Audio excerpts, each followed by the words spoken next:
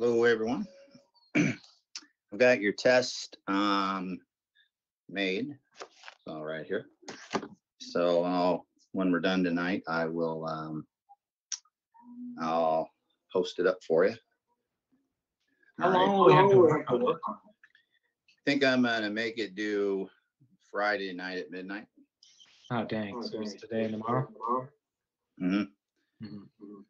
Trying to be some kind of realistic uh, thing here. So tonight we are going to get into some stuff that is going to be very important for us in the future. All right, so let me share my screen here. And uh,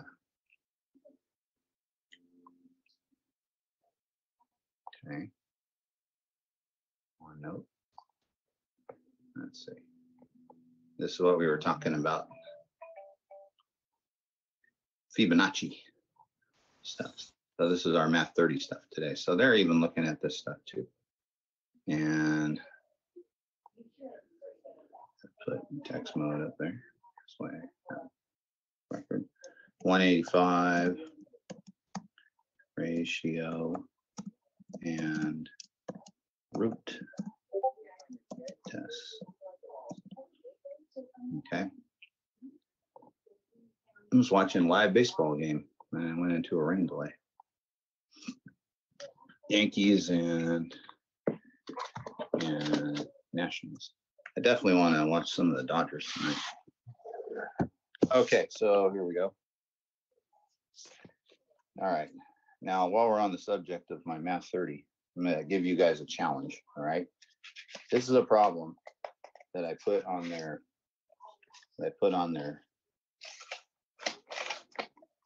test, okay? So solve this system.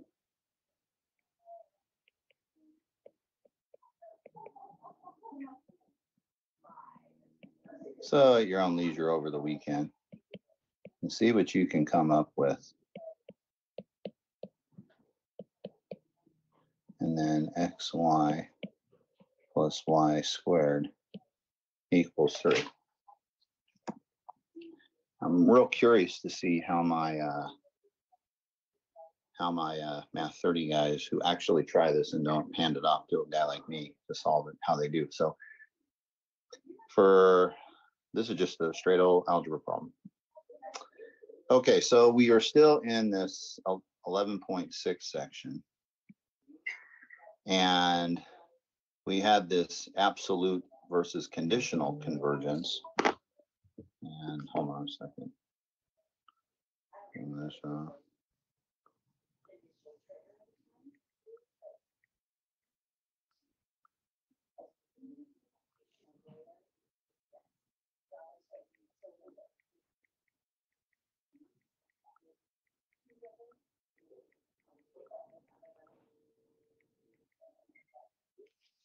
Okay.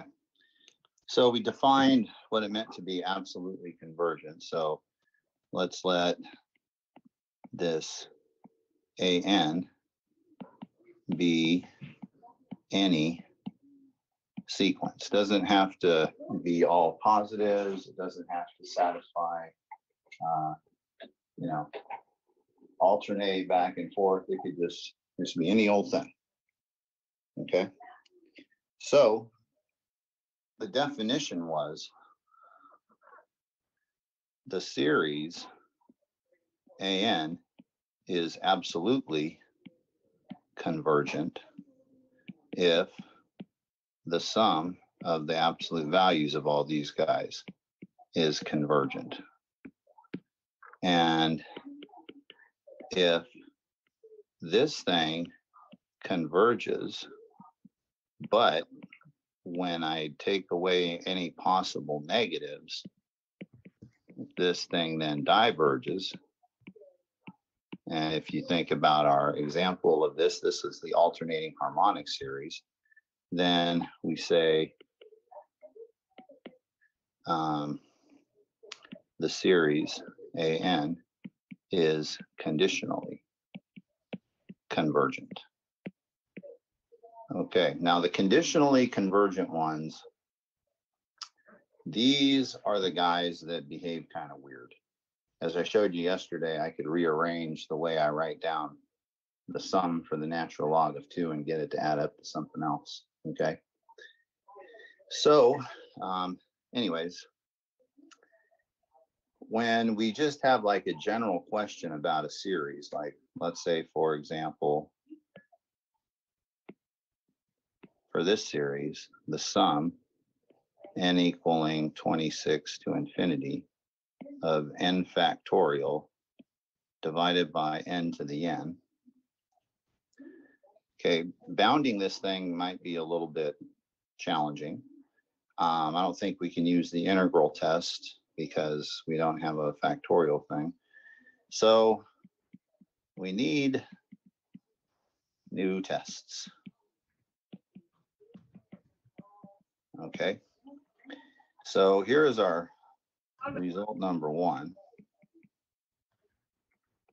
This is the one you use probably nine times out of 10. Okay, and we call it the ratio test. Okay. So given the series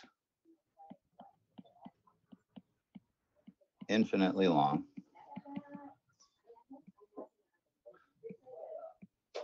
AN, we have the following results. Number one, if the limit as n tends to infinity of the absolute value of a sub n plus one over a sub n is equal to L, and if that's less than one, then this thing, AN, the series is absolutely convergent. Number two, if the limit as n tends to infinity of a sub n plus one over a sub n is equal to L, and that's bigger than one, then this guy, AN, diverges.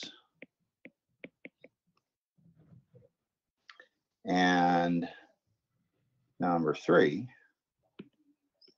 if the limit as n tends to infinity of the magnitude of an plus 1 over an equals 1, we can draw no conclusion. Okay, now I want to point something out here.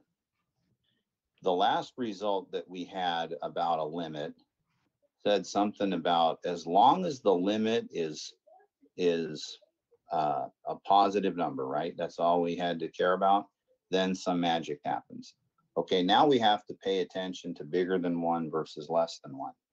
And I'm telling you, if you don't stay on top of this stuff, it's it's doesn't go well. Okay, so after you finish these 10 questions this weekend, I'm there's baseball on. I mean, it's happening.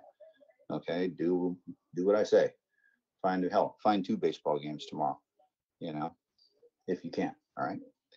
All right. Now, as for the proof of this, I really think it's instructive if you guys somehow figure out a way to just try to follow this. You don't have to write it down.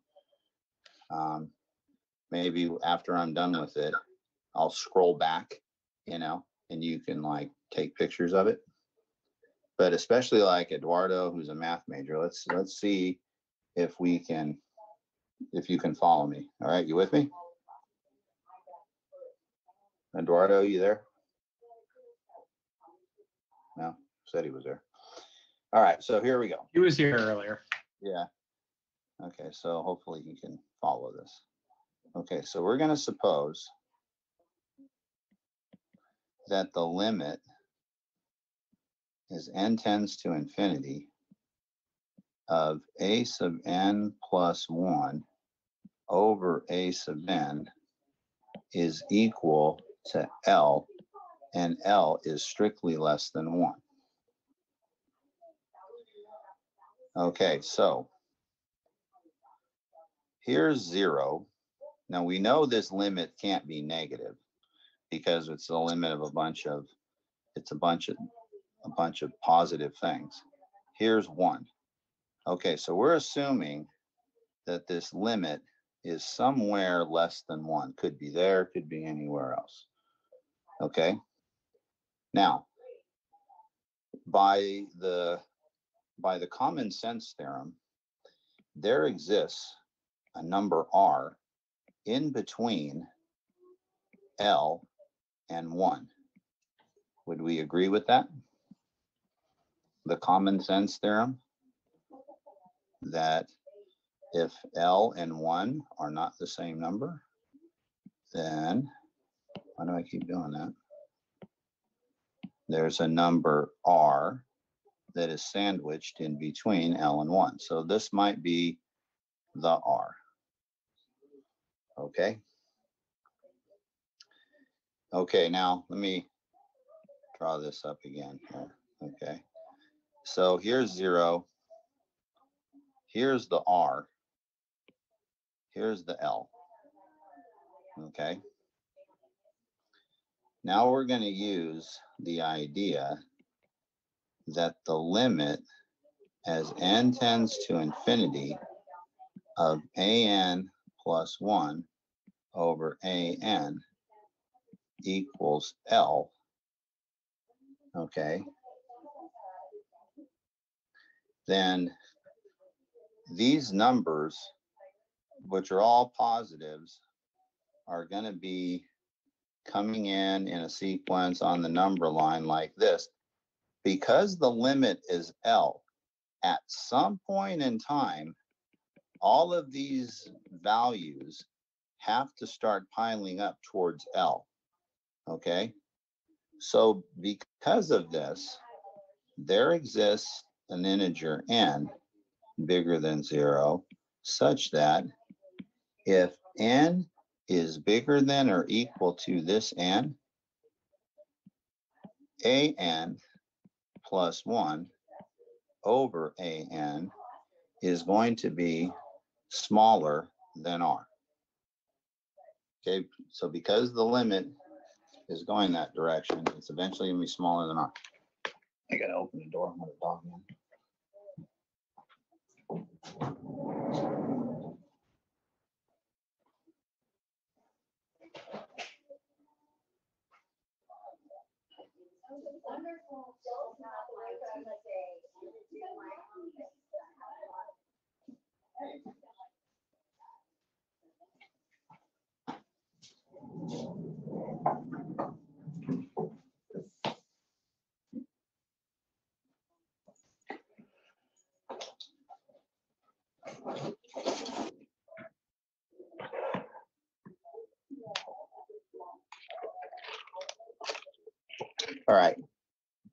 So eventually, the, these numbers, an plus one over an will be smaller than r, okay?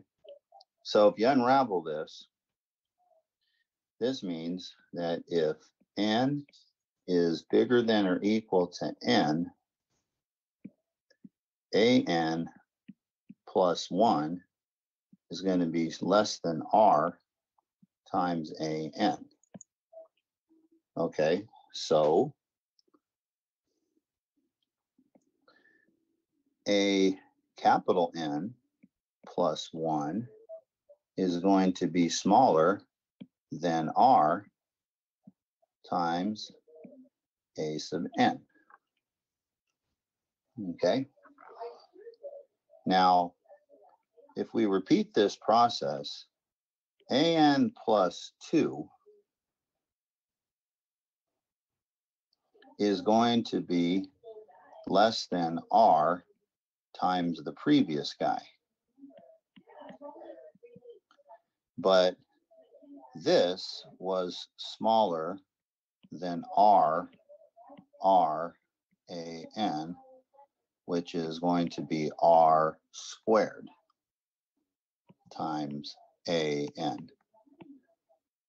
when I look at the next term, because this little number down here, capital N plus two is bigger than N, bigger than equal to the N, this is gonna be less than R times the A N plus one.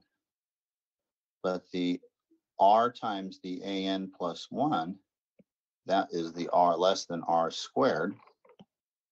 So another R goes in there and it's gonna be an R cubed times A sub N. And you see the pattern emerging? A N plus three is going to be less than, whoops, going to be less than R to the fourth times A N. Okay? And this keeps going. And so in general,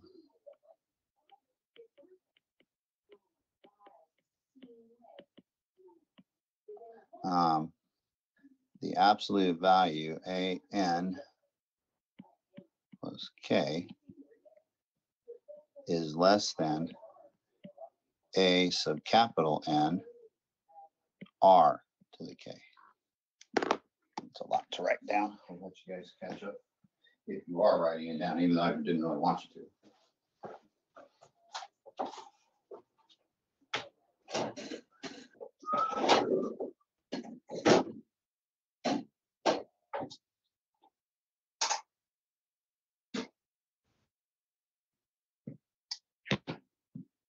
Okay, so what's happening here is I'm getting a new kind of a thing. So if I was to look at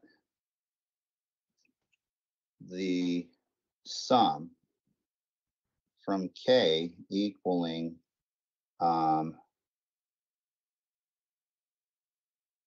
zero to infinity of a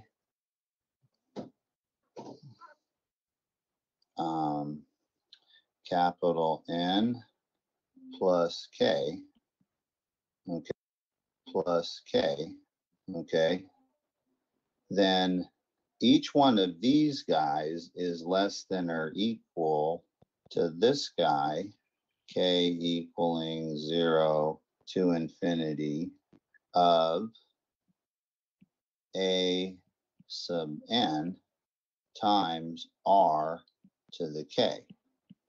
Okay, now that AN is just a number and the R is a number that's between negative one and one. So what we get, K equaling zero to infinity of R to the K, and this converges since it's geometric.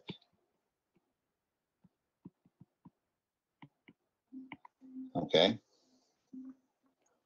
So, um, we don't even need to know one over one minus R. We just need to know that what adds up to something. Okay, so what we have seen here. So the series, stop. stop. Is that for me or someone else? A sub n plus k converges. Okay.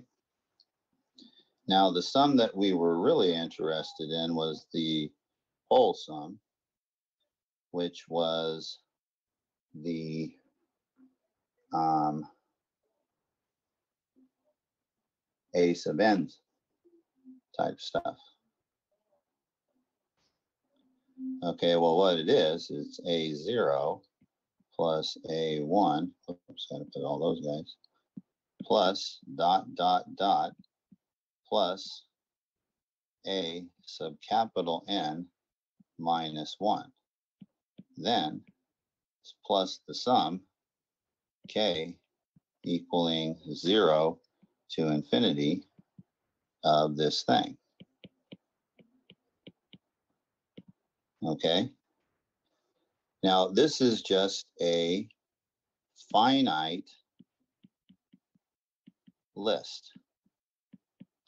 And we know that this converges. So this converges, i.e. this thing is absolutely convergent.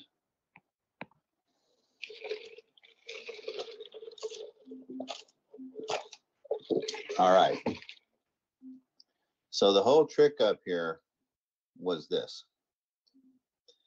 And if Eduardo's watching this later on YouTube or whatever you guys are doing with these lectures, putting them on Pornhub, that'd be pretty funny, huh? Um, so the, the trick here is to try to get something, uh, the series behind something you know to converge. Okay, and behind the thing that's converging is this geometric series. So this is our work up here, starting from right here and going down here, getting this thing bounded. Okay, now for part two, let's just do this faster, okay? The limit is n tends to infinity of an plus 1 over an equals an L, and now that's bigger than 1. Okay, so again, on a number line, if here's 1, let's say L is right here. Okay, well, I can find a number R that's in between L and 1. Maybe I should get rid of the, fuck. Here's 1. Let's say there's L, okay? All right, and again, so there exists an N such that N bigger than or equal to N is going to imply that eventually this thing, since it's going to L, is eventually going to be bigger than the R. And so we get this idea. AN plus 1 is now going to be larger than the A sub n times the R. Okay. We do the same exact steps only with the inequality sign reversed. And we say that, okay, after we go through that whole rigmarole, we say the sum k equaling 0 to infinity of a sub capital N plus k is going to be bigger than the sum k equaling 0 to infinity of a sub capital N times r to the k. And this guy diverges since r is bigger than 1. So that means that this series is ahead of a diverging series. So therefore, it has no choice but to di- diverge. So since that guy adds up to infinity, that would imply then that the initial entire series itself adds up to infinity. And so this thing diverges. Okay.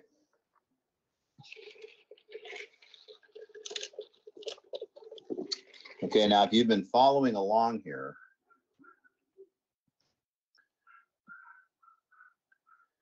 the problem with the third one, with the L equaling one, is that this is L and it's also one. There's nowhere to put the R between the two. In the, in the one case, the R was ahead of the L and behind the one. And in the other case, you know, it was ahead of the one and behind the L. Is that what I just said? Ahead of the L. Which bigger than one, well, whatever the hell I meant. Okay. All right, so when this kind of thing happens, then what you have to do is pick another test. Okay, so let's start off with that example that I had written up there. n equaling 42 to infinity of n factorial over n to the n. Okay, so we identify what our an is. It's going to be this n factorial over n to the n. And if I look at an plus 1 over an, that's going to be n plus 1 factorial divided by n plus 1 raised to the n plus 1 times n to the n and then the n factorial. Okay, now when we're using these ratio, this ratio test, we always get a lot of stuff canceling. Okay, so first of all, the, the top is going to turn into n plus 1 n to the n divided by n plus 1 to the n plus 1. Because n plus 1 factorial kind of cancels with that, just leaving that piece. And since I don't really need absolute values anymore because everything is positive, this is going to be n plus 1 n to the n. Okay, now downstairs, I'm going to write n plus 1 to the first power times n plus 1 to the n, which leaves me with n to the n over n plus 1 to the n. Okay, so now we need to figure out what the limit is as n tends to infinity of n to the n divided by n plus 1 to the n.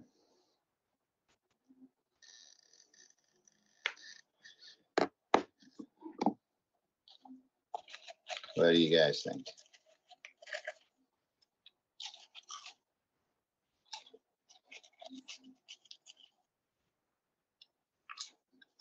In, there it's one, sorry, because it's end of the end cross out over end of the end on the top and end of the end on the bottom, so it's one.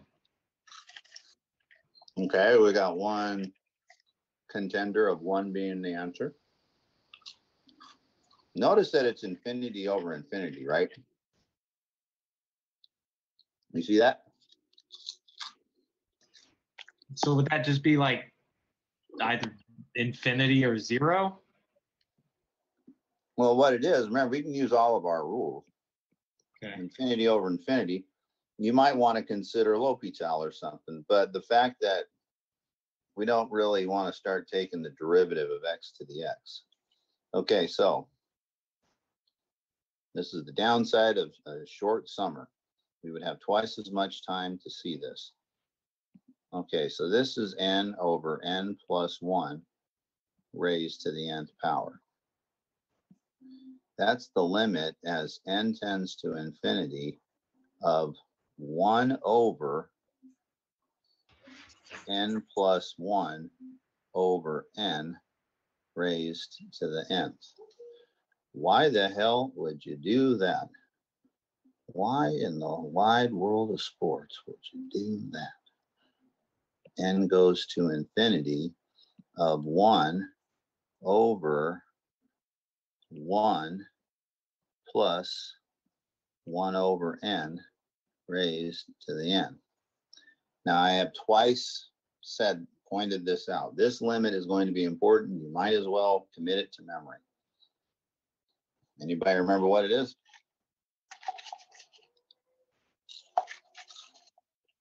One plus one over n to the n.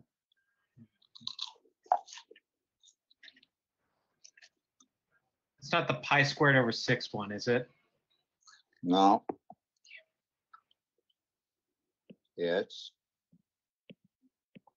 E. That's what this limit is.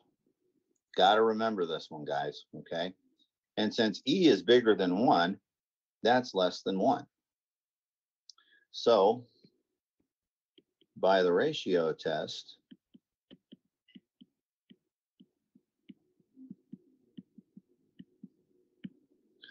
the sum of the n factorial over n to the n converges. Okay. All right. So what my big plan here is is just going to pick out a lot of problems and see what we can come up with. Okay, so let's try this example here. How's about we look at um, the let me turn storage the sum of n divided by 2 to the n.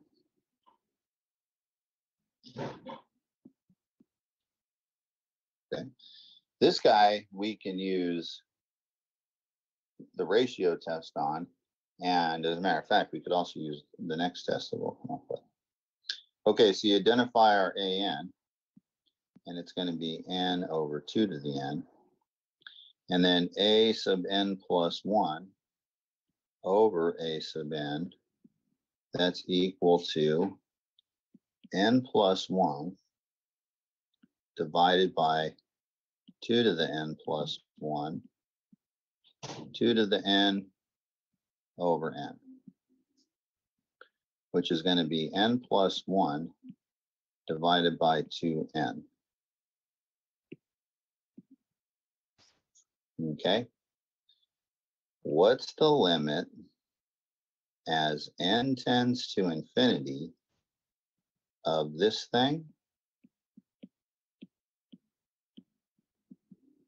It's the limit as n tends to infinity of n plus 1 over 2n. And by L'Hopital or polynomial over polynomial, the answer is 1 half.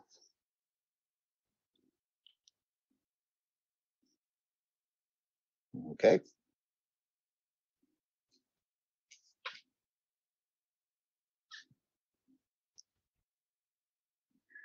Okay, um, let's try another guy here. Um, what is this? Take that one. Let's set up for that test to make sure I'm doing the right ones here. Okay. Excuse me. All right.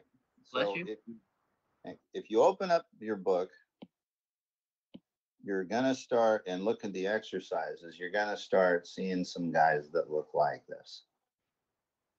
The sum n equaling one to infinity of negative one to the n. And then it's two to the n times n factorial divided by 5 times 8 times 11. And then the pattern here for the numbers is 3n plus 2. Now, over the years, I've been able to uh-huh. find similarities in students this is a problem that many of you would probably just ignore, right? Because it looks kind of stupid.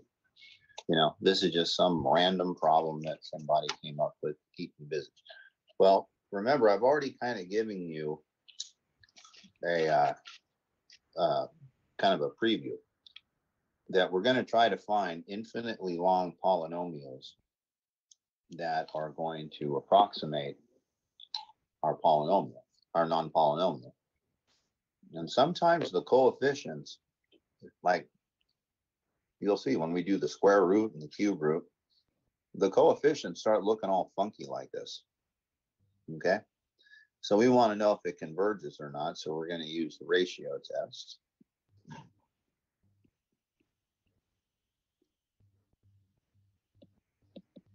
Okay, so our an plus one over an. Don't have to worry about the negative one to the n thing. Okay, so this is going to be two to the n plus one, n plus one factorial divided by five, eight, eleven, three n plus two. When I plug n plus one in there, I'm gonna get three n plus five. Okay? And then divide by the two to the n, n factorial. And then the top here, I have the five, the eight, the eleven, the three n plus two. And we can say a whole shitload of stuff's gonna cancel, right? So all of this stuff cancels with all of that stuff. And this will cancel with this. And this will cancel with this. So what we're left with is a two and then an n plus one in the top divided by a three n plus five, which is two n plus two, three n plus five. And as n tends to infinity, what's this limit? Two over three. Two over three. And all we needed to have was two over three to be less than one. So the above series, I don't want to write it again.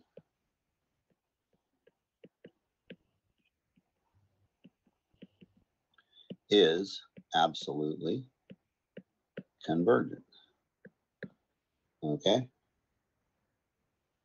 All right, now occasionally we need this a, a different type of, of a test. Okay. So this next one is what we call the root test. Now, in all my history books that I have here at home, all the documentaries I've ever watched on any of these things, never seen who were the first people to come up with these ideas. The root test. Okay, so again, we have a series sum an.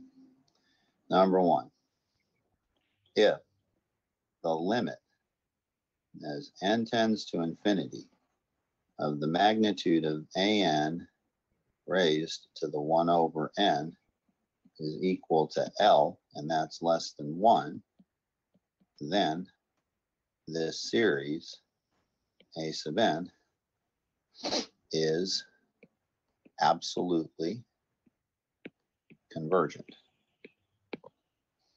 All right. Number two, it's a similar, it's the same exact uh, conclusions. If you want, you can just write them down faster. If the limit as n tends to infinity of the nth root of an uh, L and it's larger than one, then this thing diverges. And number three, if the limit as n tends to infinity of an to the 1 over n is equal to 1, no conclusion.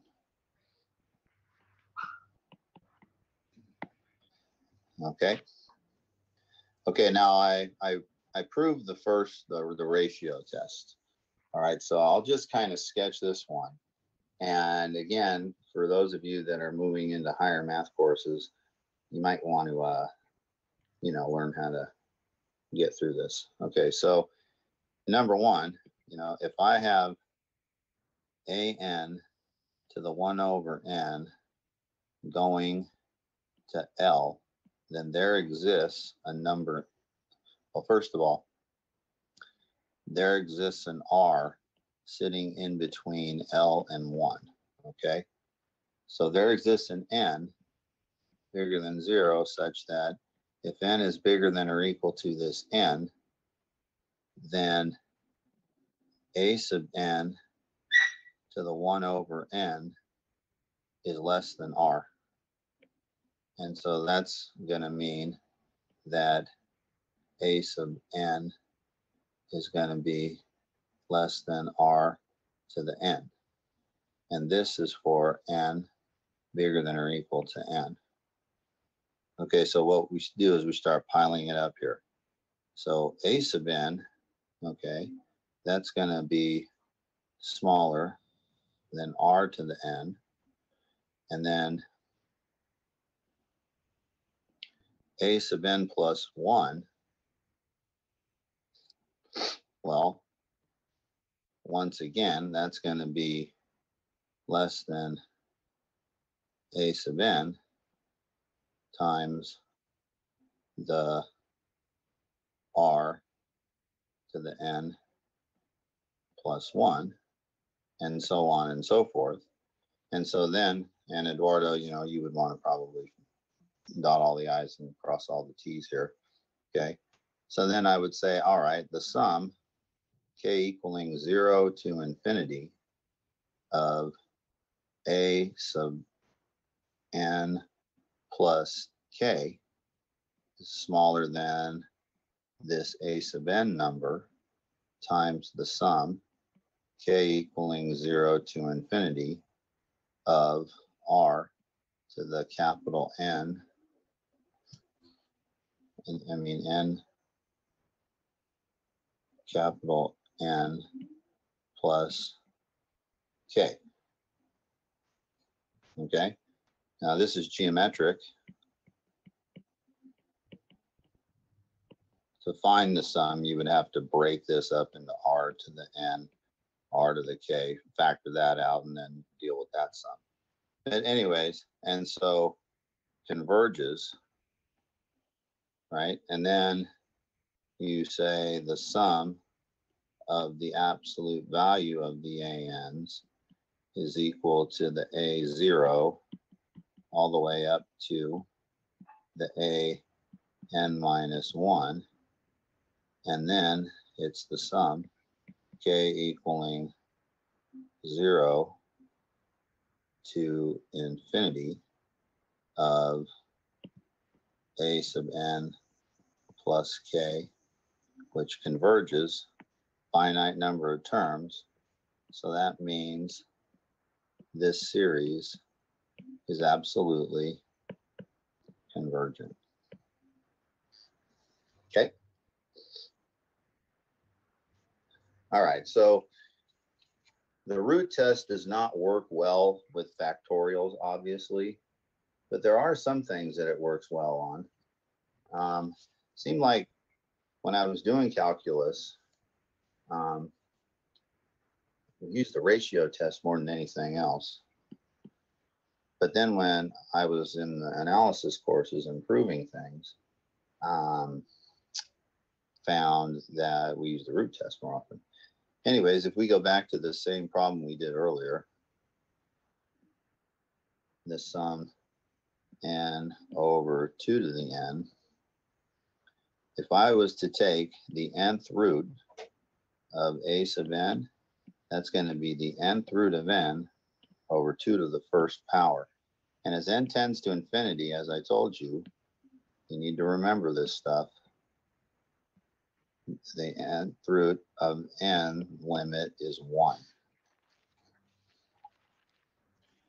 All right, something for you to think about.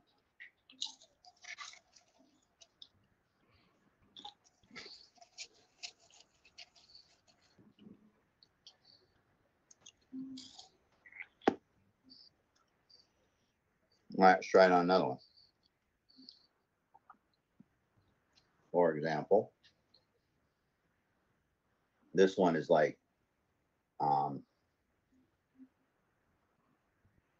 kind of blatant, okay? So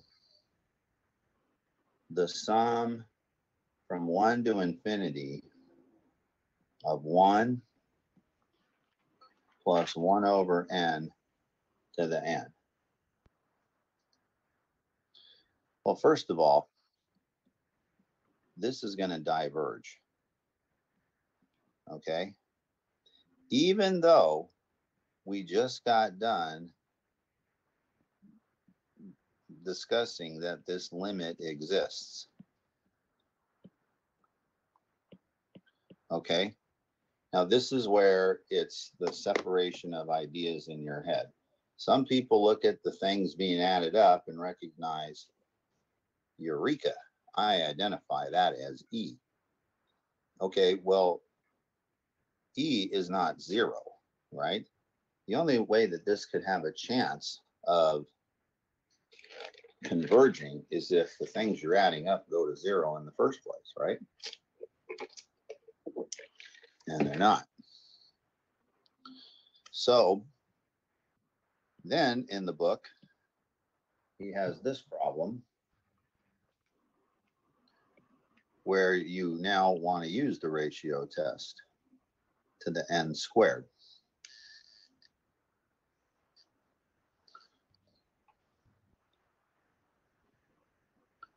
Okay, now again, this this cannot converge, right? Just like, you know, put down your video game for a second and just think about this. All of these numbers are still bigger than one. They have no chance of going to zero, okay? The root test takes care of it. If you look at an raised to the 1 over n power, what you're going to get is 1 plus 1 over n to the nth power, which goes to e, which is bigger than 1. So that means this guy diverges. All right. So I put one of, let me see. Yeah, I put I put two problems on the test from this chapter. And um, you know, they're just problems that are kind of either out in this book or some book. whatever. Okay, so now let's look at a problem like this. The sum n equaling 47 to infinity of the square root of n divided by 1 plus n squared. This is a normal class, like throughout the semester. In about two weeks from now, if I put this problem on the board, you will have used the ratio and the root test so much that that's your knee-jerk reaction. Okay, now, I said they get used like ninety percent of the time. That doesn't mean they always are helpful. Sometimes they're not. If I look at an plus one over an, it's going to be kind of a mess.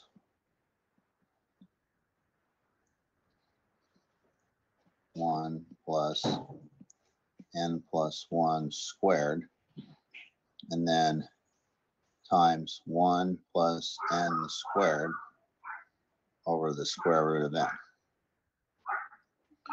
Okay, so maybe there's hope for us here. If I kind of reorganize some things, I'll put n plus one over n all together in one happy family.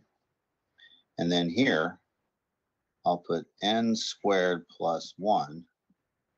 And down here, this is going to be n squared plus 2n plus 2. Okay, so the ratio test seems to be getting us someplace. But unfortunately, when we take the limit as n tends to infinity of an plus 1 over AN. This is gonna be a one times a one, which is one. So no conclusion. We're gonna have to pick another test.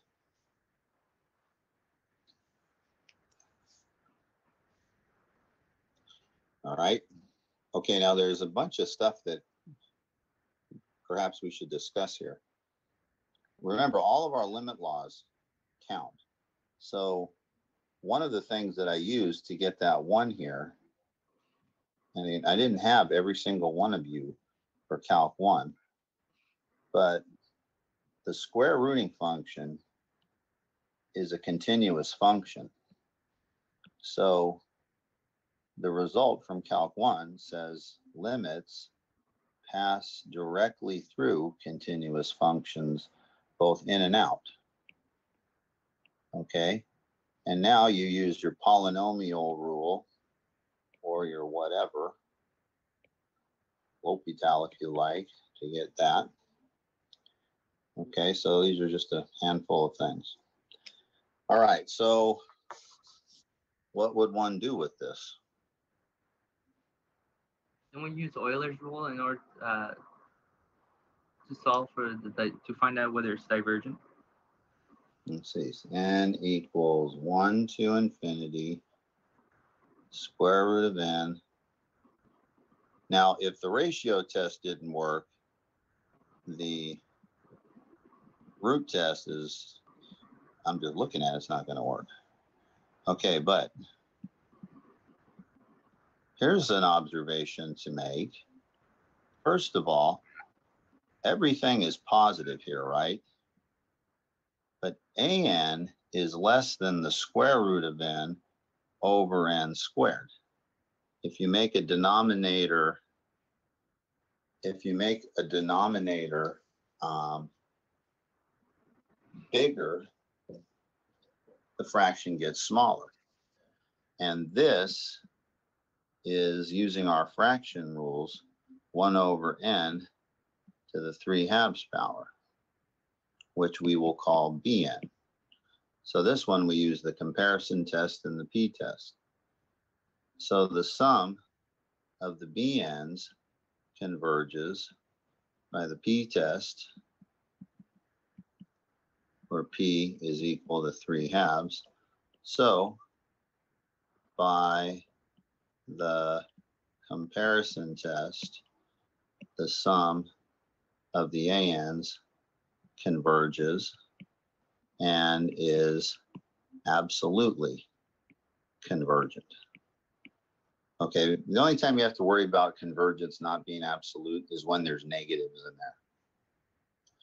Okay, now at some point in time in the future of some of you that are going to be taking junior level math courses, maybe for electives, um, you know, you never know um, at some point in time, it, we're going to have to go through an argument of, okay, if you're absolutely convergent, then there all of the rules and laws of arithmetic work, meaning there's none of that weird stuff that can happen like it happened yesterday with adding up a sum a different type of a way. Okay. Um, Professor? Yep. Uh, why did you write some of Bn is convergent? How did you prove that it's convergent? Because we showed a couple days ago that one over n to the p converges when p is bigger than one, diverges for p less than or equal to one. We did this using the integral test. Oh, oh, okay. Thank you. Okay. Thanks.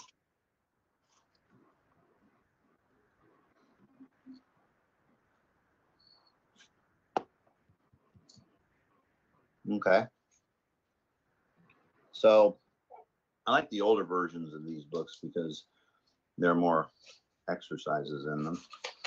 I'll just come up with a couple more here. Um, how about How about this guy? The sum of one over n to the one plus one over n. Didn't we already kind of talk about this one? Yeah. Okay, so what test did we use?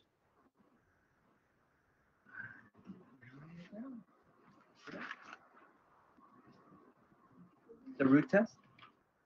No, we, we talked about this one uh, before we did the root test. So what we did is we integrated dx over, then it was, is that what I did?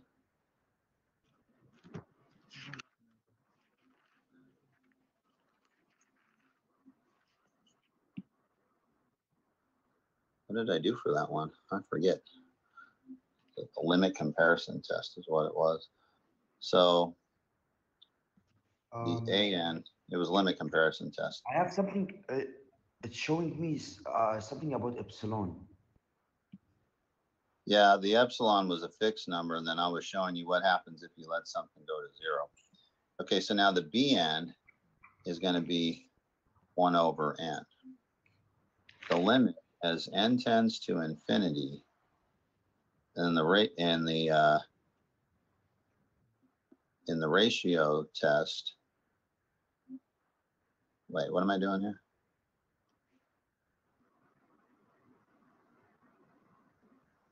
No, I'm here. Stop. What I was doing was this. So.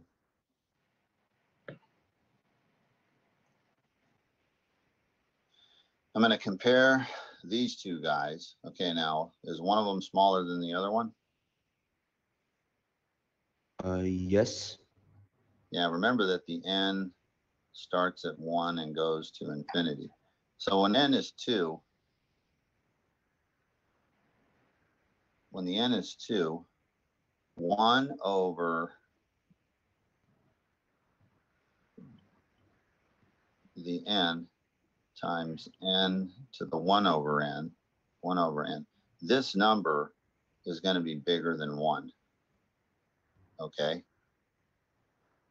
And so one over three times two, one over two times two, the bigger fraction is there. Okay. So maybe we didn't handle this one. Maybe it was left. Was it left? I don't see it in my notes. You don't see it? Maybe I'm thinking about a different class. All right, so let's try to figure out how to do this one. Okay. By the way, there are no more tests. I mean, this is this that's it, the ratio and the root test. Okay, so everything we have at our disposal, we should be able to figure this one out.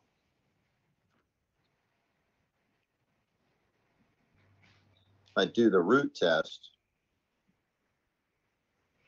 maybe that one might give us something a n to the 1 over n. Okay, so it's going to be 1 divided by n to the 1 over n, n 1 over 2n. Now, we know that this thing goes to 1. This probably goes to 1 too, so that's not really helping us. I try the limit comparison test, because I think it's going to diverge. So I'll take the limit as n tends to infinity of an over bn. Okay, and so that's going to be 1 over the nth root of n. Maybe you didn't see me cancel all of that. Okay. What's the limit as n tends to infinity of an over bn. What is the limit as n tends to infinity of this? One, Right. Okay. So it's inconclusive. Or is it? uh, we can still do the uh, the other. Hold on a second. When the limit was one, that was in, inconclusive for the ratio test and the root test. Oh, This is the limit comparison test. Remember, all we needed this limit was to be some positive real number. Oh, Remember great. that? And so that means that both these guys Or in the Fuchs, they diverge. Diverge, Nice. okay? Okay, so ratio test and the root test. Okay, now there's a kind of a interesting little result here. Okay, now I forget where, what textbook I saw this in, but I'm taking us towards the Riemann hypothesis anyway. So, okay, so this discussion is about alternating series and the p-test. Okay, now, um, this is kind of an interesting sleight of hand that's going to happen here. Okay, but it's going to reveal something about alternating series. Okay, so we're gonna we're gonna let zeta, and this is the Greek letter zeta of s, be the following function. The sum n equals one to infinity of one over n to the s. This is called the zeta function. Okay. And as I've already told you, there is a, a connection with this and the Euler product formula that has all of the primes in it. Okay. Okay, so now what I'm going to do is I'm going to let eta, and I think that's how we do eta of S, be the same series, but alternating.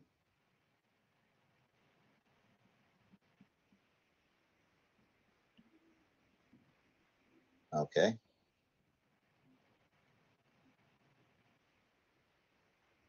All right, now, from the integral test,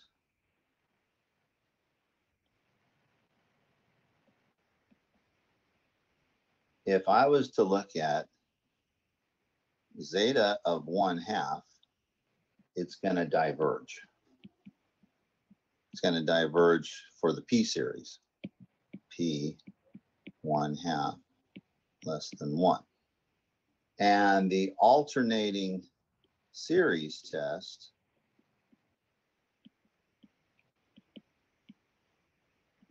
eta of one half, which is the sum n equaling one to infinity, negative one to the n plus one, divided by the square root of n, that thing converged. It's not hard for an alternating series to converge. The terms just, the positive things just have to decrease down to zero. Okay? Okay. Now, I want us to note here that eta of one half is conditionally convergent. Because if you take the negative one thing away, it's going to add up to infinity. Okay, so again, I'm going to do a trick like I did yesterday. Now, I wanted to do it once yesterday and then save this for today because this is the kind of stuff that Riemann did.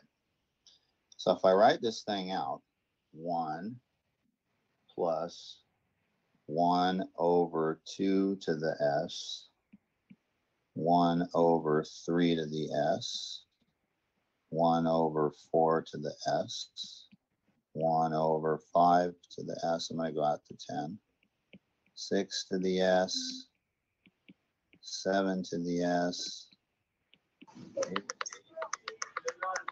nine, and ten. Okay. So if I was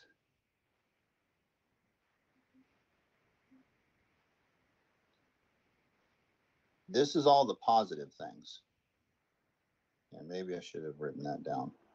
Okay, so eta of s equals one minus plus minus plus minus plus minus and plus minus. Okay.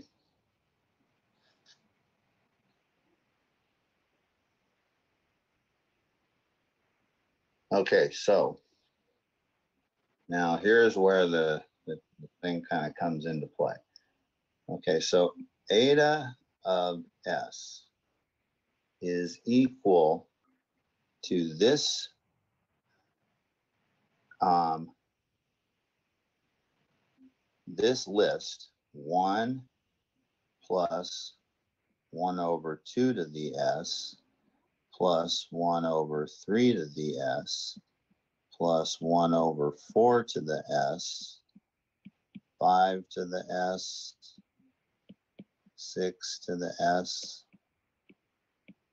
seven to the s, eight to the s, s, one over nine to the s, one over ten to the s. Okay, now if this term has to be minus, so underneath this, I'm gonna put minus. Okay, now this is gonna be two over two to the s. So when I take this term here and I subtract this term here, I'm gonna get that term. Okay?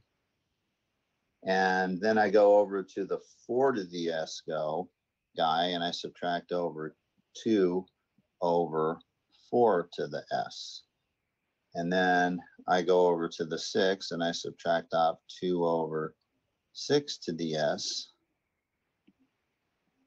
Subtract two over eight to the s.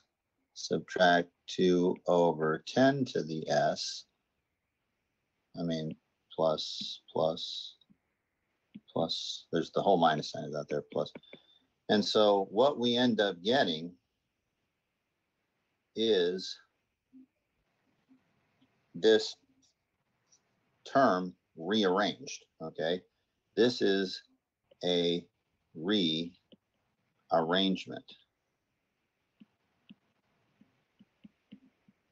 Now, it's kind of a, it's not just the kind we did yesterday where every third or fourth one we plugged in something. This is like an infinite list chopped in half and then, or and then flipped around. Okay. Now, the piece that we've got here, so this eta of s, well, to me, that looks like the zeta function of s minus the two. And then if I kind of pull two over two to the s out from and well, let me let me not do this like that. That's a bad that's a bad way to do that. Okay, so if I first of all take out a two, okay? Then I'm gonna have a one over two to the S plus one over four to the S plus one over six to the S plus one over eight to the S plus one over ten to the S. Okay, keep going like that. And then I'm gonna factor out a two to the S from the denominator. So that's gonna be zeta of S minus two over two to the S times the following sum, one plus one over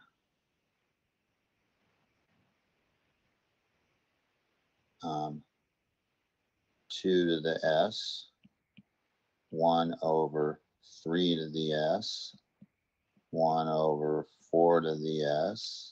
See what's happening here? Five to the S. Okay. And so this is going to equal this guy minus one over two to the S minus one times that thing again. But that thing is that guy. Okay, so in this functional equation that we have here, this eta of S is equal to one minus one over two to the S minus one times the zeta function. Okay. All right, now, I want you to remember what eta was. Eta of S is the, uh, where's my eta guy? Is this alternating series. And equaling one to infinity of negative one to the n plus one over n to the s. Um, wait a second. I got this piece wrong.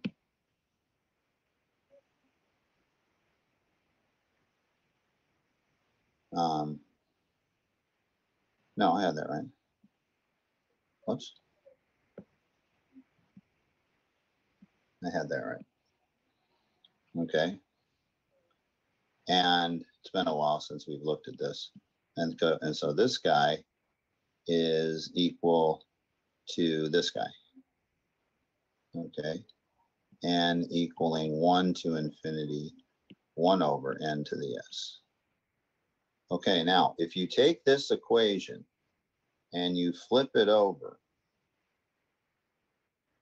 the zeta of s is going to be my common denominator, that fraction, it's going to be 2 to the s minus 1 minus 1 over 2 to the s minus 1 times zeta or eta of s. Okay, so that's how I flip that over. Okay, It comes out to negative one. what I did is I, I so I common denominator this, Mhm. two to the s minus one minus one over two to the s minus one. And then I want to solve for this guy, so I flip it over and get this guy. Oh, Okay, now here's where the weird thing happens. Okay. Zeta of one half is looking like two to the negative one half minus one over two to the negative one half eta of s. I mean, eta of one half.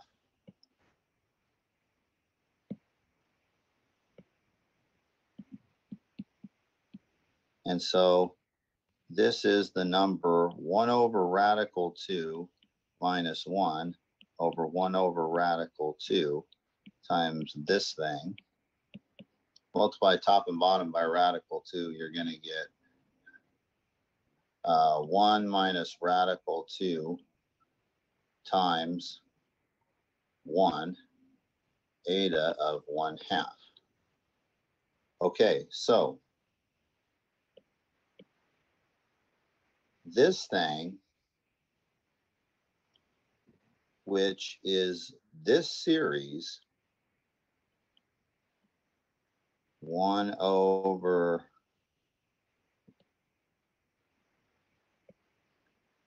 the square root of n, which diverged before.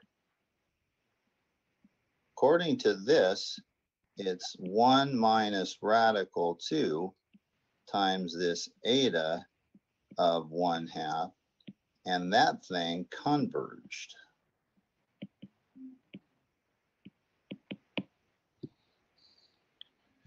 So we're left with a, a bit of a conundrum here. Okay, the integral test is pretty damn solid. Okay. Yet this is happening. Okay, so this is the kind of stuff that Riemann did. He wanted to extend the domain of definition of his zeta function. So what he did is he took the zeta function and he extends the domain of definition to where S is now a complex number. Okay, and he gets it to converge everywhere in the complex plane except when S is equal to one, which is the harmonic series. Okay, now what he's doing here is something, you know, like changing the domain of definition of the function. Now you're going to see the connection shortly. Okay. All right. So in the section eleven point six, you know, he's got like forty-five of these problems to do.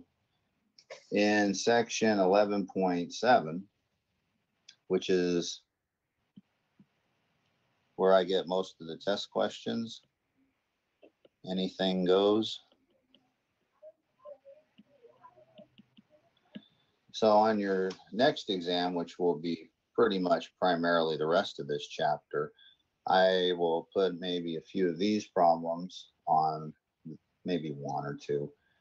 Okay, because the important, the important stuff is to come. Yes, Hey, Bobby, will we, uh, will we have that next test like early next week or, cause, cause I know we still have two more, so. yeah, so the test, I told you guys, I'm gonna put the test up. you know, as This soon as one. we're there. Yeah, Yeah, but I'm talking about the next test, because we essentially have to have one every week unless you want to do two. Um, are we having that early next week or? well. I'm treating, I'm treating test five as I always do. Oh, you mean the final you're gonna treat like just the same week as test five? Okay. No, no, no. Remember, the fifth test is the take-home test. Yeah, okay, I got you. Okay, so this test for the power series, Yeah, which we're going to next. Okay, so this will be, let me open the door for the dog. Hold on. This test will be um, your fourth one.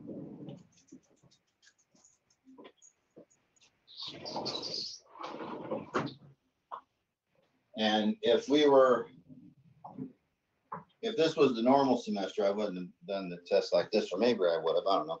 But what I do is I always try to have, like in the regular semester, I Mhm. always try to have this chapter eleven test.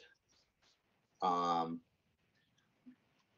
kind of on the last day of, like the Thursday or the Wednesday of week fifteen. And then you Okay. take the take-home test with you. Oh, so this test is gonna be like back to back, like with the other one essentially. Yeah, so this one, I'll put it, and then I'll put the other one up, up there. So Oh. basically, you'll have a double test.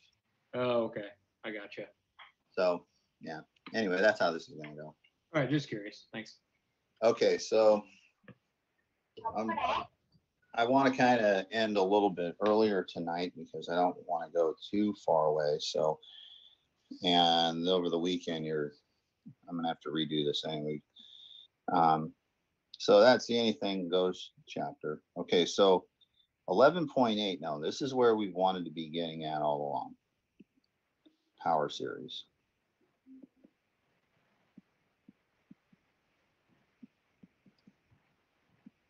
Okay, so what we saw last time was that the natural log of two was equal to some kind of a sum, zero to infinity, negative one to the n plus one divided by n. Okay? Now, maybe there was some kind of an x that I put in here that produce the two. You know what I mean? Like, for example, um,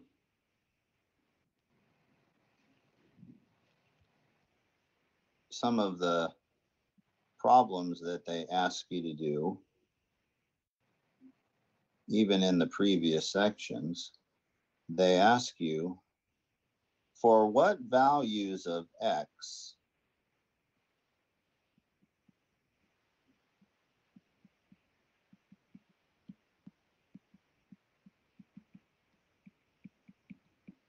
does this series converge? So I'm sure if I look hard enough in the exercises, I can find it.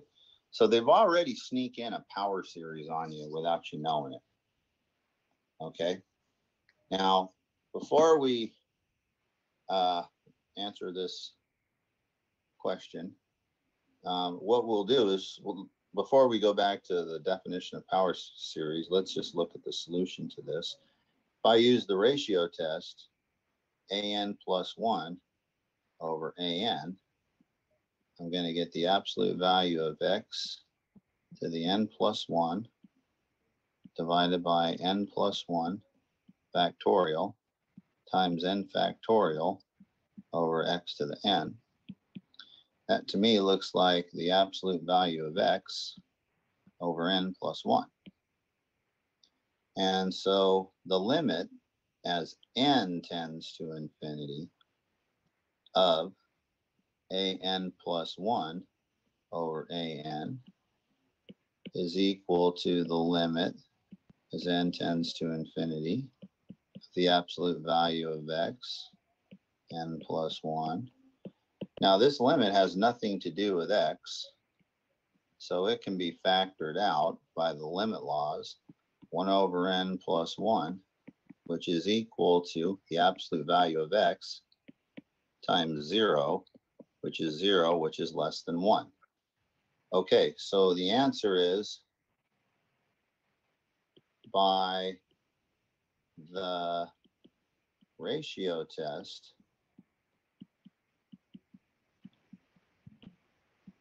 this series, x to the n over n factorial converges for all x.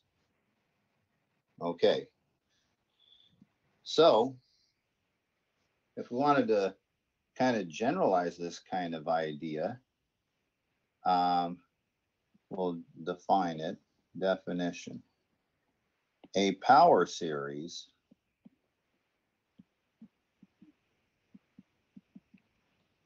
which we'll call, which has a center at A, is a series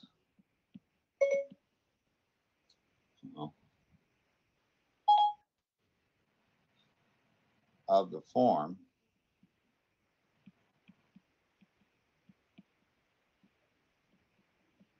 and it's a sum.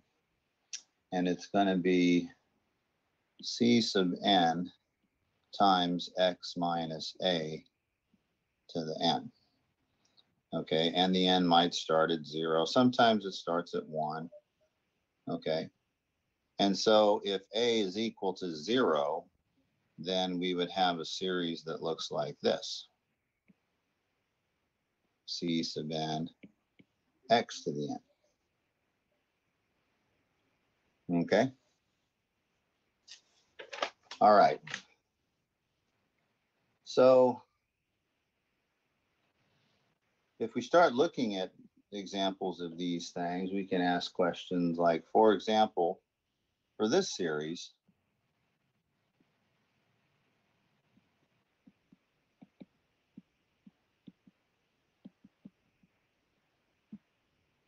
sum n equaling 27 to infinity. And let's say it's going to be x minus 1 to the n divided by 2n, let's say. Uh, for this series, what values of x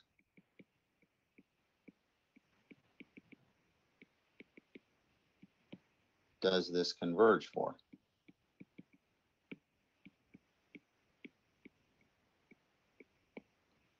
Okay, so the solution here can use the ratio test.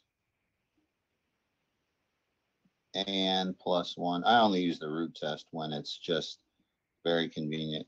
Tracking the nth root of two around, I don't want to do that. So this is going to be um, x minus one, n plus one, divided by two times n plus one, two n over x minus one to the n. Twos are going to cancel to give me this x minus 1 times the n over n plus 1. Okay, now this time, the limit as n tends to infinity of an plus 1 over an is equal to the limit as n tends to infinity of this thing times this. Okay, now just as before, x minus 1 has no dependence on n, so I can bring him out. Limit as n tends to infinity, n over n plus 1. Okay. Now this limit is one. So therefore the limit is x minus one. Okay, now the conclusion of the ratio test says that if this L is less than one, it converges. So what we do is we force this x minus one to be less than one.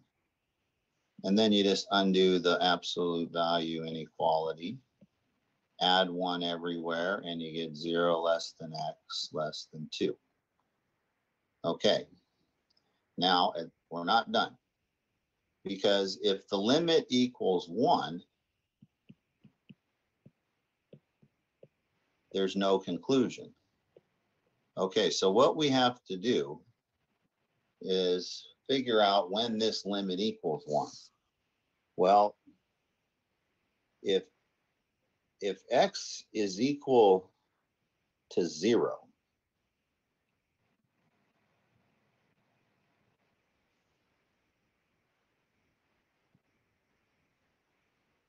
then what happens way the hell back up here? If x is equal to two, what happens way the hell up there?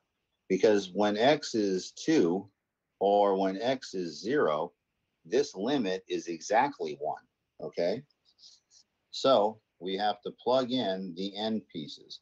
So you always have to manually. There two L's in manually? No. Check. the endpoints.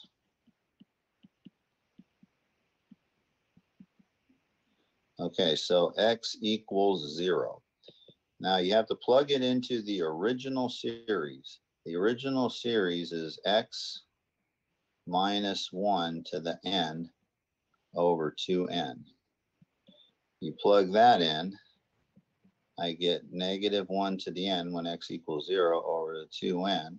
So this is converging. Alternating series test. Okay. When x is equal to two, I'm gonna get the sum of one to the n over two n. That's the sum of one over two n. That's the diverging harmonic type series. Okay, so the interval of convergence then is this piece and that piece. Okay.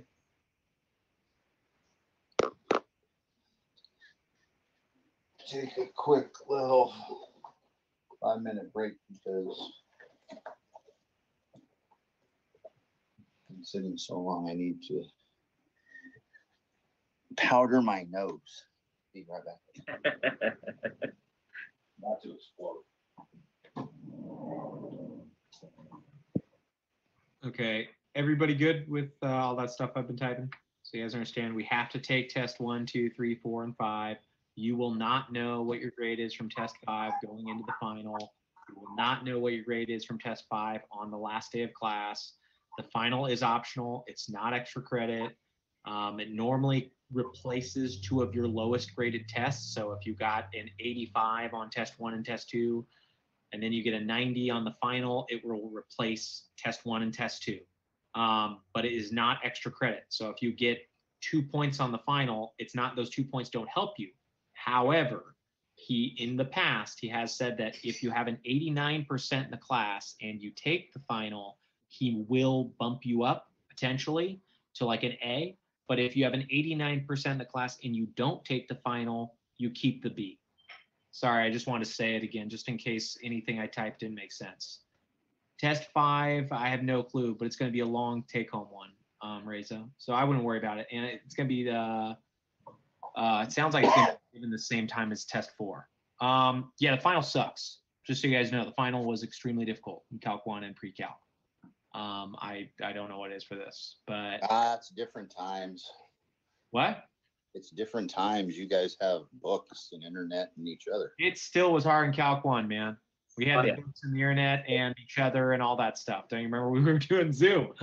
uh, but pre-calc, yeah, it was pre-calc was still difficult. Yeah, my that final was tricky. but everybody was asking. I was trying to explain: is it going to be the same way it's always is? No, it's not extra credit. It can replace grades for the lowest. Yeah, it's same. It's the same exact. Perfect. All right, I, I explained that. Hurt you, all that stuff. Okay, now, if I had a series like this, for example, just to refresh your memory, we found that this guy converged for all real numbers. This interval. If I do this example, like n equaling zero to and about one to infinity, um, of n to the n, x to the n. If I do the root test on this guy, that's going to be nx. And so the limit as n tends to infinity of this thing is equal to the limit as n tends to infinity of this, which is this,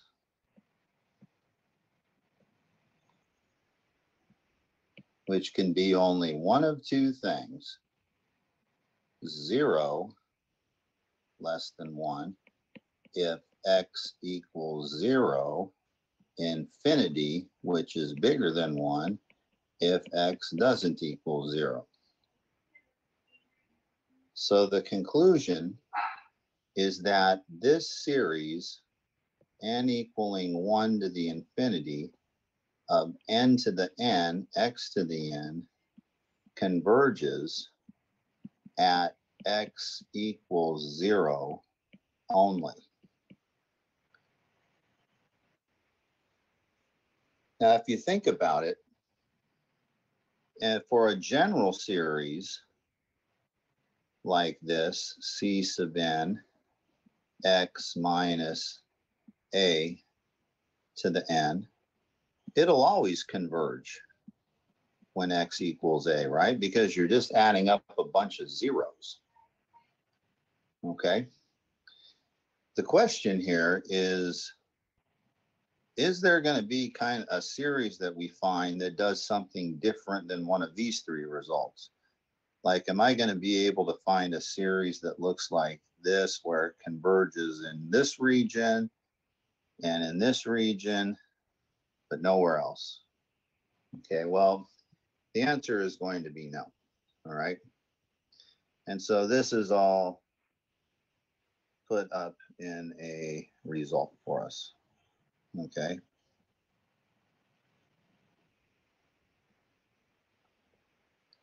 Okay, so he calls it a theorem, not really much of a theorem. Okay, so for any power series,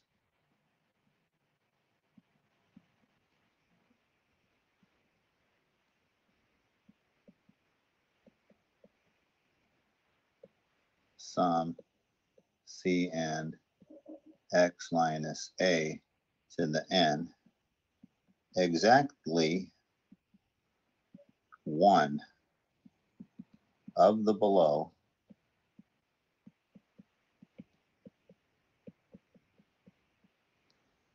is true.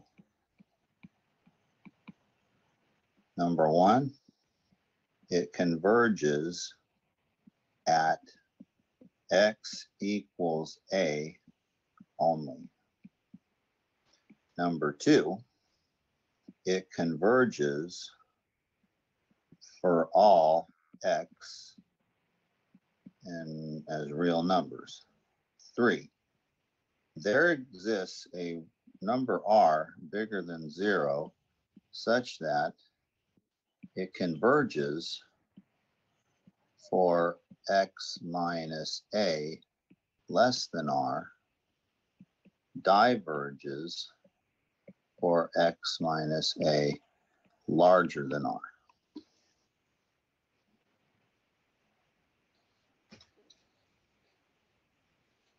Okay. So what this result is telling us here is that um, we're not going to find some weird thing where you're going to have two separate inter- intervals. Okay, now for most of you in the room right now, you guys can go ahead and log off. I'm gonna, um, because this stuff is, this is just the proof of this statement. And only a handful of people need it, so I won't be doing anything new. As soon as I log off of here, I'm going to, uh, I'm gonna do your, you know, your test, okay? So this is just for that anybody that wants to see this proof, and this is as far as we're gonna go, okay? And then, of course, we will talk about this result again on Monday anyway.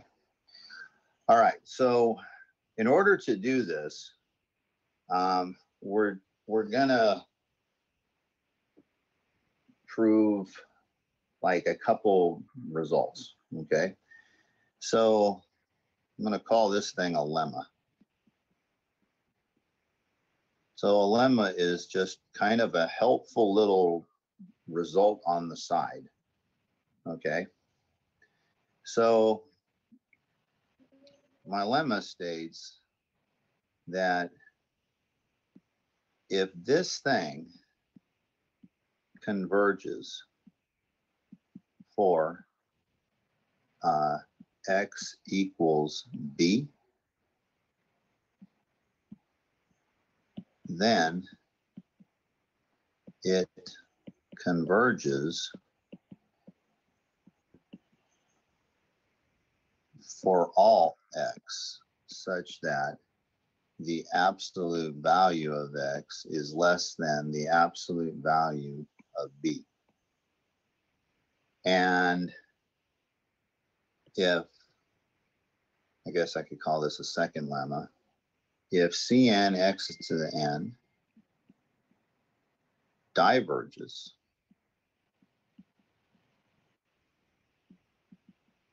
um, for x equal to d, then it diverges for all x where the magnitude of x is larger than the magnitude of d. This used to not be in the book. And since I haven't opened up a new version of Stewart in years, I just give them to my kids or students that come in that seem like they're down on their luck and boy, a free calculus book would hit the spot. So anyway, I don't know, maybe he's putting in there now. So this, I, you know, I kind of drag this up. My own. Okay, so let's see here. Let's, let's do like the first statement, like, let's suppose that it converges at B, okay? These, these results actually aren't that hard to, to prove. Suppose that this thing, Cn, x to the n, converges for x equals b. Okay, so what this means is that Cn b to the n converges. All right. Well, if that converges, then by the criterion for convergence, the limit as n tends to infinity of the things that we're adding up have to go to zero. Well, if they're going to zero, that would mean at some point in time, when n is big enough, um, the magnitude of Cn times b to the n is going to be less than one. Okay. Well, if I go back to Cn x to the n, and I do this in absolute value, and I'm going to write this as Cn x to the n times b to the n over b to the n, right? Just multiply by one. Okay. Now this is going to be switched into c to the n, b to the n times x over b to the n. Okay, now, if n is larger than this n, this thing, which ended up being this thing,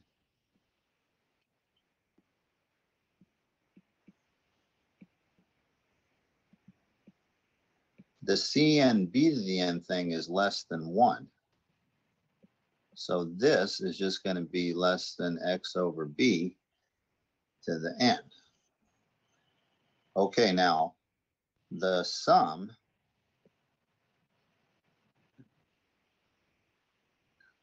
of x over b to the n is geometric.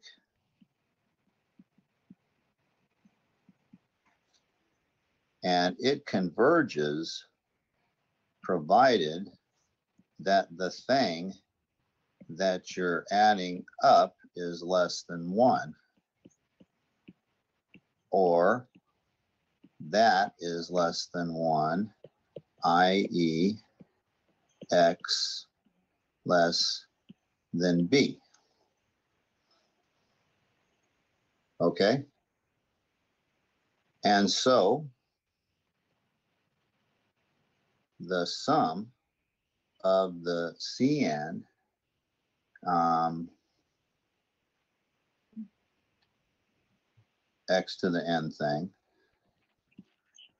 converges for all x such that absolute value of x is less than absolute value of b.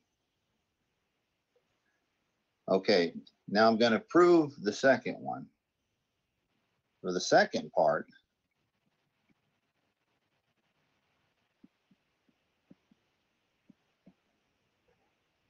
we could do a similar thing and get it ahead of a diverging geometric series. Could do that if we wanted to. But I'm going to do a little mathematical sleight of hand. Okay. So suppose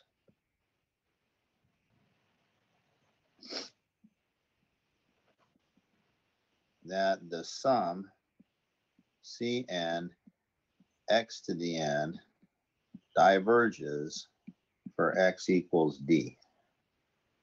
That means that this sum d to the n diverges. Kind of climate does this allergies. Okay. So we're, so that means that this is a, this is a diverging sum. Now, if x is bigger than this number d,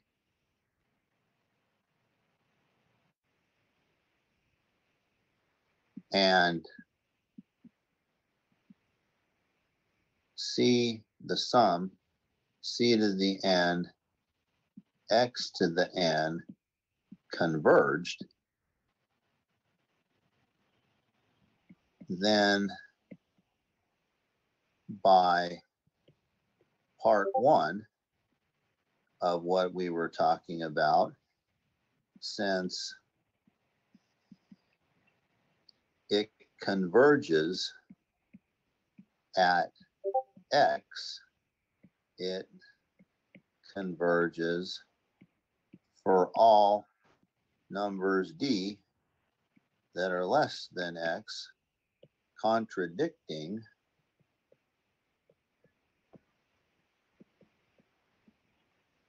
that this sum diverges. Okay. So the conclusion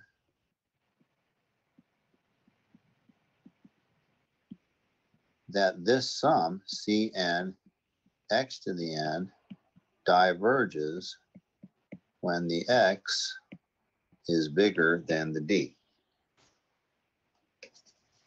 Okay. All right, so now we're ready to prove the result. So we're gonna prove the result of the above result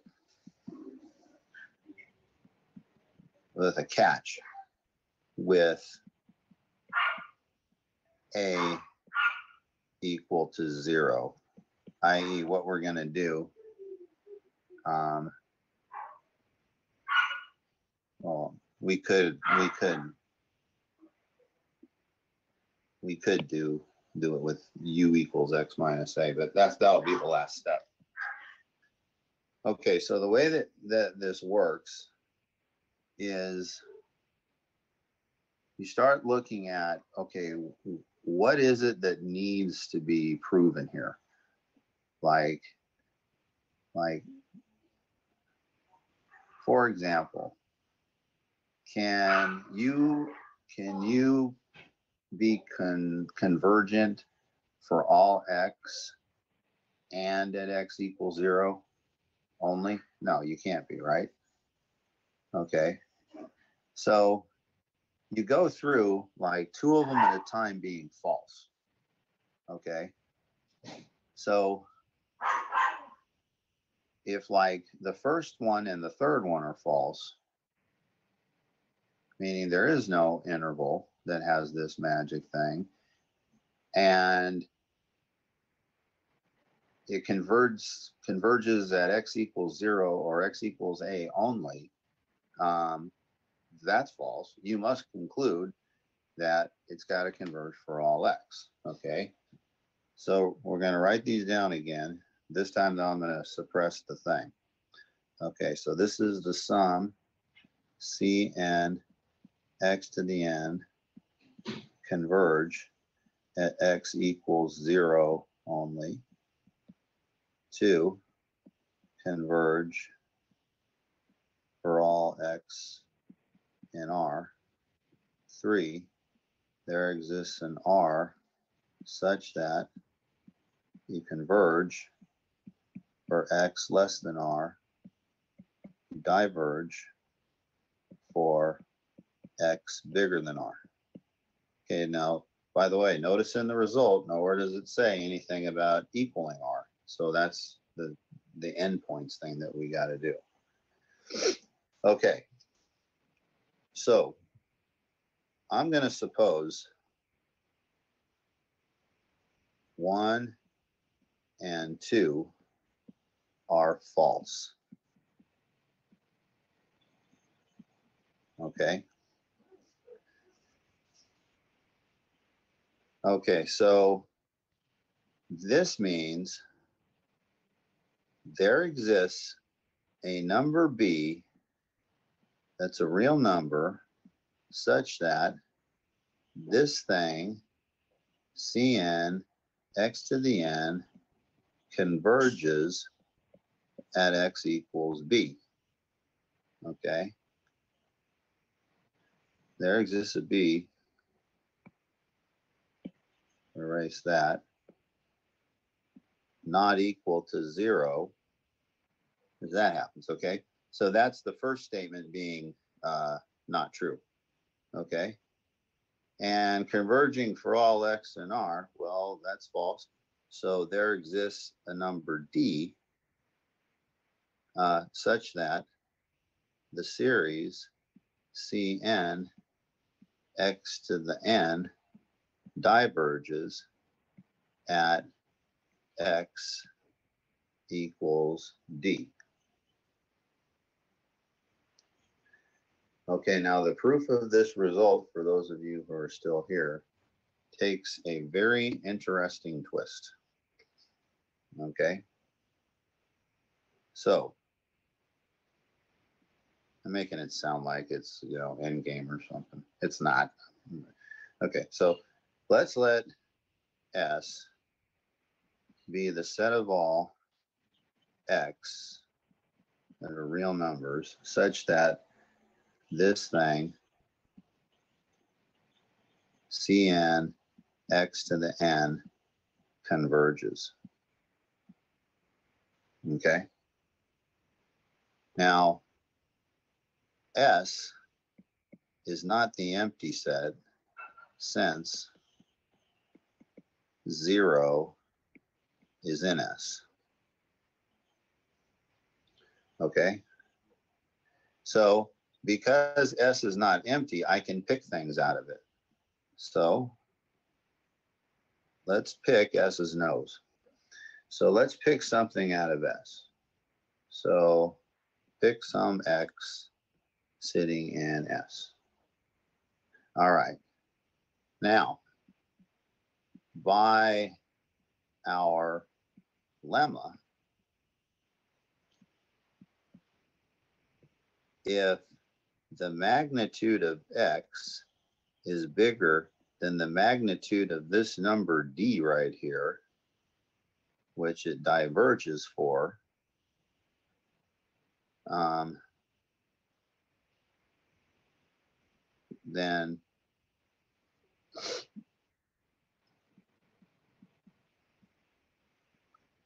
the sum Cn x to the n diverges. Right? Right. But x is in f. So since x is in s and x bigger than d is false, we must have that the absolute value of x is less than the absolute value of this guy d. Okay? So we can conclude here that if x is in S, you can be damn sure that X is smaller than that number, the absolute value of D. No doubt about it, okay? All right. Well, this says that if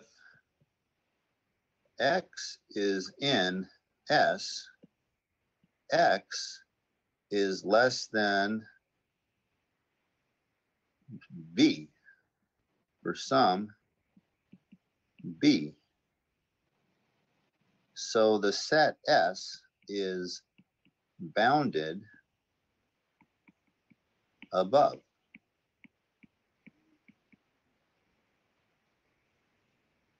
Well,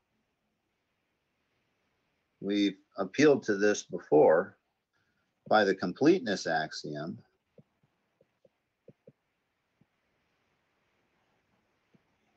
Completeness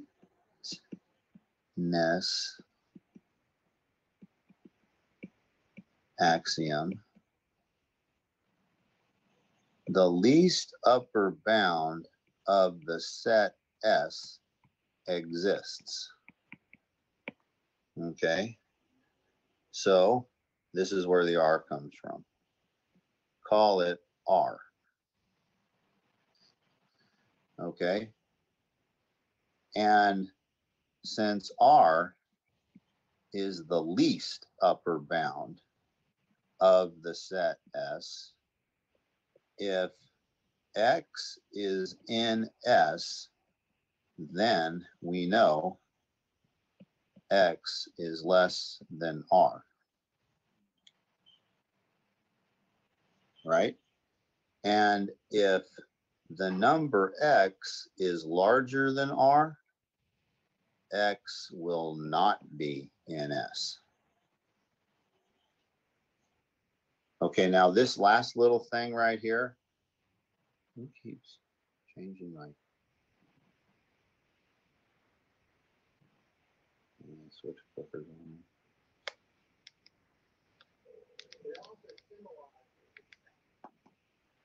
Fucking with my TV. Okay, so the thing that this is with one of these logic steps. If the statement P, then the statement Q. This is P implies Q. Okay, so the statement P is X is in S. The statement Q is X is less than R. Okay, so this is logically equivalent to if not Q, then not P. So this is not Q implies not P. Okay, so we got the R, which is the radius of convergence, as the least upper bound. And we know that if X is in S, X must be less than R. And if X is bigger than R, X is not in S. So we conclude that number three holds. Okay? And the proof finished. Besides, now write the series like this and let u equal x minus a. And then that's the thing that you push through. Okay, so I wanted to make sure, Can, can you? I forgot. I forgot to write the u. oh, go back and, U equals.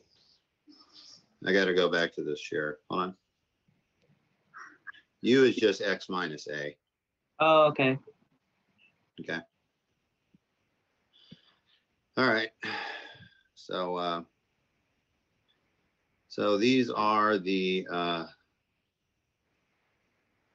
power series things. All right, so this is where we want it to be now. What we're gonna do with these things, let me see. Let's- let's that twenty-nine people in here. And in the chat, there's a, not sure, test five. Okay, we already talked a bunch about test. Um, so what we're gonna do going forward for like next week is just a lot of this stuff. We're gonna try to do all of the cheap and dirty stuff, get it out of the way. And we're, if you wanna like, like read ahead, we're just gonna be taking the geometric series and just working the crap out of it. Okay? Yeah. And then when we can't do that anymore, then we're gonna have to start doing calculus stuff to figure these problems out.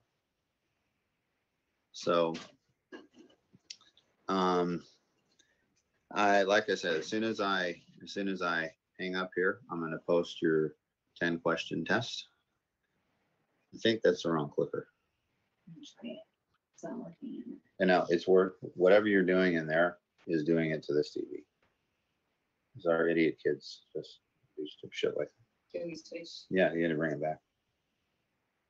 You bring Switch. yeah. Okay. terrible kids. So my best friend from high school showed up yesterday after class. He's You out here. He's out here, uh, he lives in Florida. Hmm. And, uh, he had to come out to deal with his mom and stuff like that. And yeah, the two of us pretty much drank the better part of a thirty-six pack of Miller Lite. Big ball don't work. You don't feel sick today? No, I never get hungover.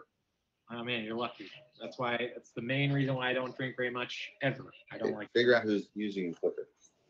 I, uh, I gotta balance. so it's my sister's birthday and I gotta do that test, but I'm down. Yeah, at least have a good time, man. Chilling with your buddy? Oh yeah, it was great, man. Laughed and yeah, this has been my best friend since sixth grade, so you know, it's kind of fun. Good hang out. All right, let me let me uh, hang up here so I can uh, post your test. All right. Hey, Bobby. All right. See you guys. Have a good weekend.